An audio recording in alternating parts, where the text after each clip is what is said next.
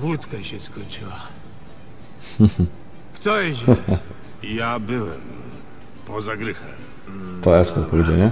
To ja idę. Kuchnia w tamtą, tą?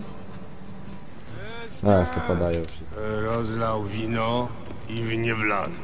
Musiałeś klękać, żeby to zobaczyć? Ja mi się schylił, on mi się chyba pożygał.